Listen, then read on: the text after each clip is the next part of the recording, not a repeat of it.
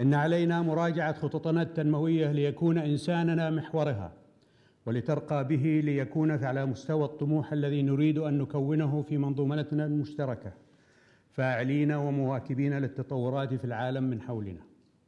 وعلينا أيضا